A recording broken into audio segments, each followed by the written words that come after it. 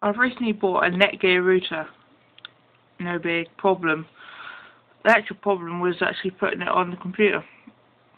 Now I am using the Orange internet provider and if you're using a, a new computer which has Vista looks a little bit like this down here then you're going to have a little problem when you try and use old software with the SpeedTouch connection on a new Vista computer. Now what you need to do, as my computer is a Compaq, um, and yeah that causes a bit of a problem as of old software on a new computer.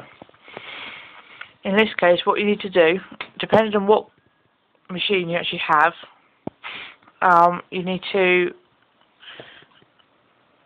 do a system restore. You should get some software where you sometimes you don't need software, but you should get some kind of instructions about when you start your computer on how to restore. You want to re restore rather than you know like reset rather than actually uh, back up all your folders because otherwise it will just won't work again. Um, connect it all up. Once you've got rid of SpeedTouch, do not put any CD in or anything like that because that's when it buggers it. Um, and then all you need to do, go straight to the internet, like so. In your address bar at the top, you'd put the following number. 192.168.0. 0.1. Okay, and that is 192.168.0.1.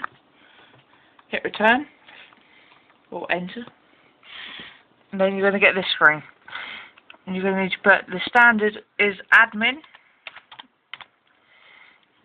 for your username and password is password, but I've changed mine as I've got it working. Put that in hit enter and then you'll get your settings for wireless ADSL firewall router. Uh, down you've got your basic settings, ADSL settings, wireless settings, and that's how you do it. Do it all. Basic settings, just go in, go into it, like so. Put in your, your login and password. Get IP address from ISP provider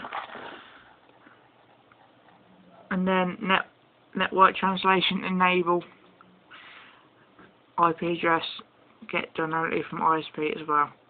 After that you should be able to go straight fine and then you just put your usual downloads which you had before and after that you should be fine.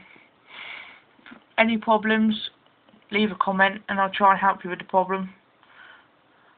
It is a right absolute bugger to do once you get it done you can get you can actually get it nice and working. I bought mine intentionally for uh, gaming.